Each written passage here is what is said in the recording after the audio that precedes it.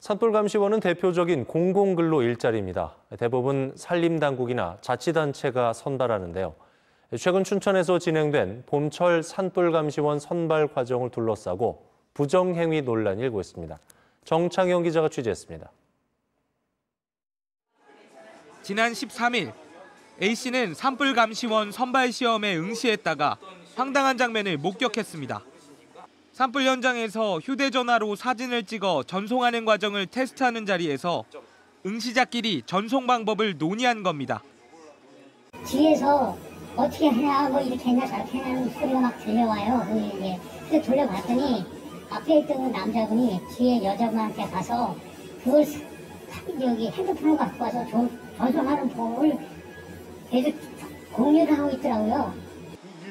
100점 만점의 평가 요소는 필기 30점, 휴대전화 사진 전송 20점, 주거지 여부 30점, 신체 검사 20점 등인데 20점에 해당하는 사진 전송 부분을 응시생들이 논의하는 상황이 빚어진 겁니다.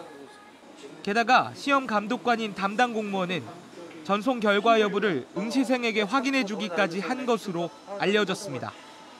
시험 중 이 같은 의논을 한 응시자들이 합격하면서 불합격한 또 다른 응시자도 불만을 토로했습니다. 내 전생이 맞습니까? 안 맞습니까? 이게 다, 예, 왔습니다. 안. 그리고 알려주고, 그럼 되게 일단 주관식 나왔으면은 내가 몇 번을 썼는데, 맞습니다? 틀렸습니까? 그럼 그쪽에서, 맞습니다? 아닙니다. 그거랑 마찬가지라 생각되거든요. 담당 공무원은 전송 결과 여부를 확인해 준 것은 미흡했지만 관리 감독에는 문제가 없었다는 입장입니다.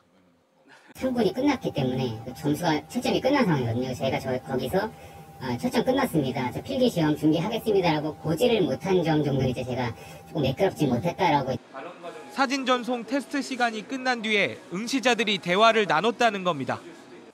응시생과 담당 공무원의 주장이 엇갈리는 상황.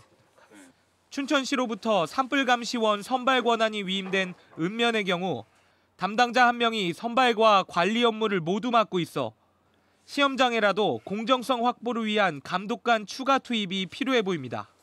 주연 뉴스 정창영입니다.